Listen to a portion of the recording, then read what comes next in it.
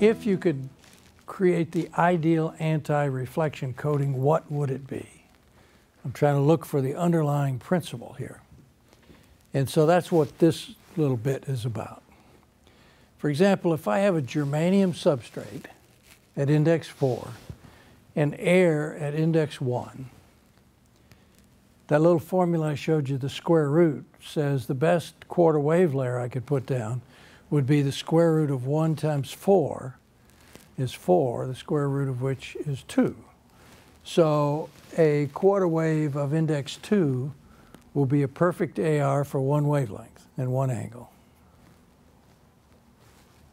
Simple enough.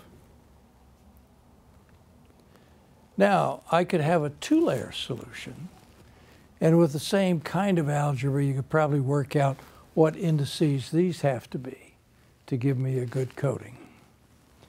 And then I could go to a three layer and similar things and four and five.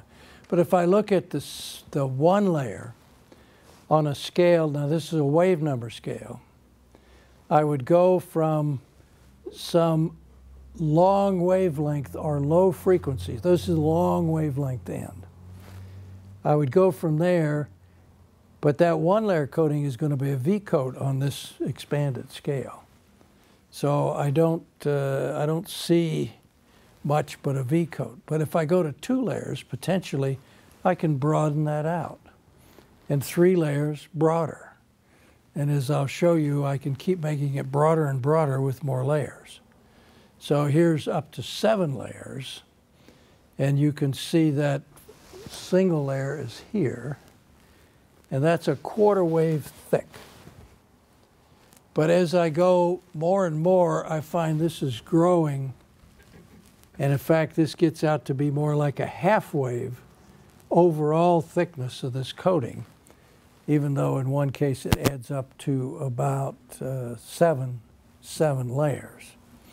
And as I look at that uh, curve, ideally if I went to an infinite number of layers, it would have a shape like this that is the ideal broadband anti-reflection coating.